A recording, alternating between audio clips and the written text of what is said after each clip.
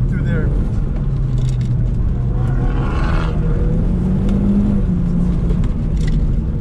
Remember, slow down before this.